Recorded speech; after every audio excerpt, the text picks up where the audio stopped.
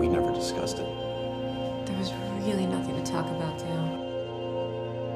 You could have fought harder regarding that. I fought every single day. What? I don't I don't know why I feel like I've already been through this. I lived for you, Savinna. I know. Guilt was overwhelming. I didn't know that.